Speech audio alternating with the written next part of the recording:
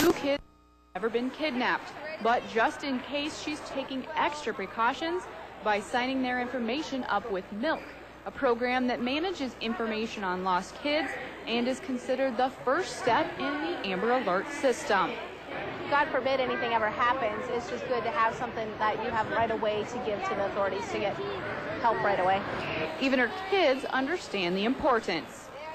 People would know what I looked like, how old I was, and it'd to find me. The program is very simple and comes with a CD that is easily installed onto your computer. Once you have it installed, you simply import a photo of your child and enter their information, like name, height, weight, and even special characteristics. In the event of an Amber Alert, if they would need to use that service, they would be able to have everything at the click of a button. And you just, you never know these days.